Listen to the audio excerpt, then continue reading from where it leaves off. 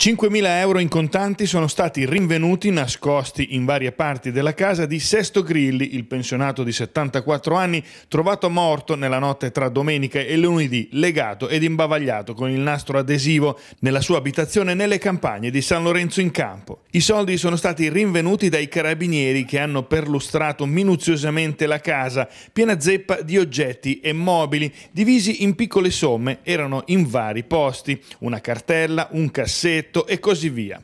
Una somma abbastanza insolita, secondo gli investigatori, per un imbianchino in pensione come Grilli, ma compatibile con il suo stile di vita, molto sobrio e senza eccessi o spese particolari. Non spendeva quasi nulla, dicono i vicini.